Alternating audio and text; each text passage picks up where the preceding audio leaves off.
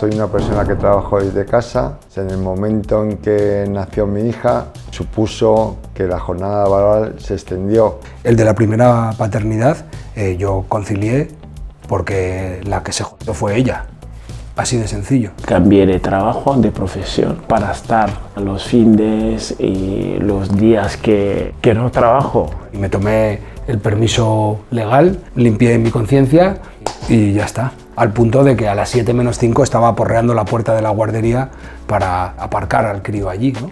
En mi caso he tenido la fortuna de poder criar a mis dos hijos. No estaba trabajando a ninguno de los dos embarazos, así que no tuve que pedir reducciones ni nada. Cuando nace el segundo, tres años después, la conciliación eh, fue mucho mejor por ambas partes y ahora mismo, joder, pues concilio estupendamente. Nire partez izan da, eszedenziak, lamurruzketak, gehienak harrapatzen dudana da.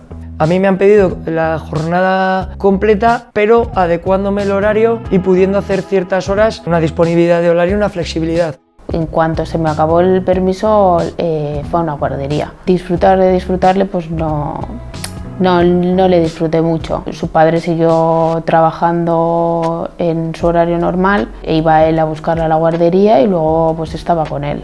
Los dos estamos a reducción para estar con él, con él más tiempo también, para compaginar horarios, para no depender de nadie, que al final creemos que los abuelos tienen que disfrutar y no estar ahí como esclavos. Estoy teniendo más tiempo y, ma- y de mayor calidad ahora que cuando antes trabajaba jornada completa y sin hijo.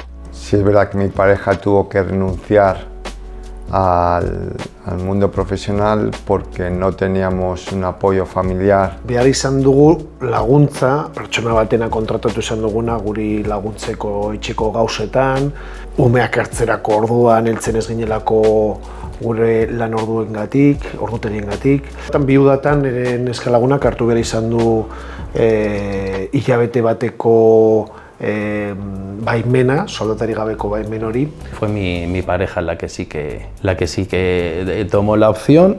El tener negocio también, la familia pesa y es, es lo más importante, está claro.